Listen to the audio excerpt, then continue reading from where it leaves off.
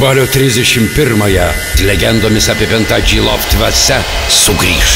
Istorinė Kauno senamiščio vieta taps didžiausia Helovino šokio aikštele.